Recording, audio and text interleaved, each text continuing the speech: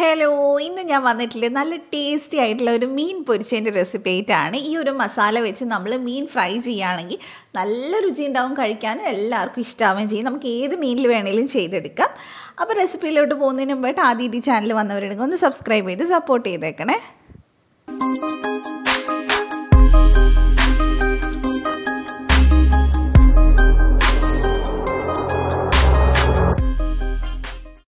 ആദ്യം തന്നെ മിക്സിയുടെ ചെറിയ ജാർ എടുത്തിട്ട് അതിലേക്ക് ഒരു കഷ്ണം ഇഞ്ചി ചേർത്തിട്ടുണ്ട്. ഒരുപാട് ചെറുതല്ല എന്നാൽ ഒത്തിരി വലുതുമല്ല.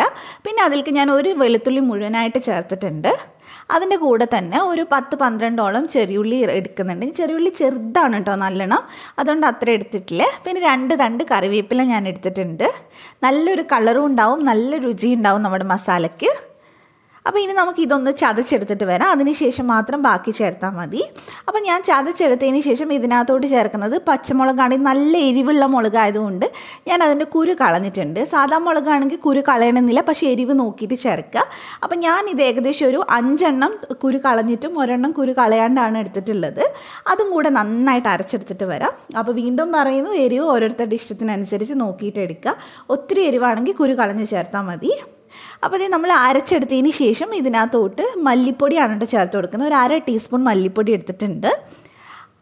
അപ്പോൾ ഒരു ഒരു ടീസ്പൂൺ മൊത്തം വേണ്ട അര ടീസ്പൂൺ മതി. പിന്നെ നമ്മളൊരു അര ടീസ്പൂണോളം മഞ്ഞൾപ്പൊടി എടുത്തിട്ടുണ്ട്. പിന്നെ ഇതിലേക്ക് നമുക്ക് ആവശ്യത്തിനുള്ള ഉപ്പ് ചേർത്ത് കൊടുക്കുക അതിന്റെ കൂടെ തന്നെ നമ്മൾ കുരുമുളക് പൊടിയാണ് ചേർക്കുന്നത്. അത് ഞാൻ ഒരു ടീസ്പൂൺ തന്നെ എടുത്തിട്ടുണ്ട്. പിന്നെ നമുക്ക് ഇതിനകത്തോട്ട് വാളംപുളി നന്നായിട്ടൊന്ന് കുതിർത്ത് പിഴിഞ്ഞത് നമ്മൾ കുറച്ച് ചേർത്ത് കൊടുത്തിട്ടുണ്ട്. ഏകദേശം ഒന്നര ടേബിൾ സ്പൂൺ ഉണ്ടാവും. ഇനി ഇതെല്ലാം കൂടി നന്നായിട്ട് നമുക്കൊന്ന് മിക്സ് ചെയ്തെടുക്കാം. നല്ലപോലെ മിക്സ് ചെയ്തെടുക്കുക അപ്പോൾ ഈ ഒരു മസാല വെച്ച് നമുക്ക് ഏത് മീൻ വേണേലും ഫ്രൈ ചെയ്തെടുക്കാം. അയിലയോ മത്തിയോ ഏത് വേണേലും എടുക്കാം. എന്റെ അടുത്ത് നത്തോലി ഉള്ളതുകൊണ്ട് ഞാൻ നത്തോലിയിലാണ് ചെയ്ത് കാണിക്കുന്നതെന്നേ ഉള്ളൂ. അപ്പോൾ നമ്മളിത് ഈ സമയത്ത് ഉപ്പ് എന്തെങ്കിലും കുറവുണ്ടെങ്കിൽ വേണമെങ്കിൽ നോക്കിയിട്ട് ചേർത്ത് കൊടുക്കാം. അപ്പോൾ ഇനി നമുക്ക് നത്തോലി നന്നായിട്ട് ക്ലീൻ ചെയ്തെടുത്തതുണ്ട്. അപ്പോൾ ഏകദേശം ഇതൊരു നാനൂറ് ഗ്രാം ഉണ്ടാവും. അപ്പോൾ അതിനകത്തോട്ട് നമുക്ക് ചേർത്ത് കൊടുക്കുക അപ്പോൾ ഫുള്ളായിട്ട് നമ്മൾ ചേർത്ത് കൊടുത്തിട്ടുണ്ട്. അപ്പോൾ നത്തോലി ആയതുകൊണ്ട് തന്നെ നമ്മൾ മിക്സ് ചെയ്യുമ്പോൾ സൂക്ഷിച്ച് മിക്സ് ചെയ്യുക അപ്പോൾ നന്നായിട്ട് നമുക്കിതൊന്ന് മിക്സ് ചെയ്ത് എല്ലാവരുടെയും ആ ഒരു മസാലയൊക്കെ ആവുന്ന രീതിയിൽ വേണം മിക്സ് ചെയ്തെടുക്കാനായിട്ട്. അപ്പോൾ നത്തോലി നമ്മൾ സാധാരണ മുളക് പൊടിയൊക്കെ ഇട്ട് ഫ്രൈ ചെയ്യാറുള്ളത്. അപ്പോൾ ഇതുപോലെ ഒന്ന് ചെയ്ത് നോക്കുക എന്തായാലും ഇഷ്ടമാവും അപ്പോൾ ഇനി നമ്മൾ മസാല മൊത്തമായിട്ടും എല്ലാവരും ആക്കിയിട്ടുണ്ട്. ഇനി ഇത് കുറഞ്ഞത് ഒരു മണിക്കൂറെങ്കിലും നമുക്ക് ഫ്രിഡ്ജിലൊന്ന് റെസ്റ്റ് ചെയ്യാൻ വെക്കാം. അതിന് ശേഷം മാത്രം ഫ്രൈ ചെയ്തെടുത്താൽ മതി. അപ്പോഴേക്ക് നന്നായിട്ട് മസാല പിടിച്ച് കിട്ടും.